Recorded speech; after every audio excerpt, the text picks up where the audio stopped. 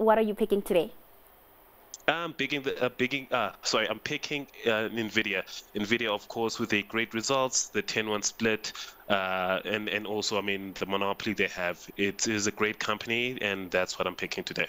Odwa, thanks so much for your time and those insights. That was Odwa Magwentshu from Trive Investments.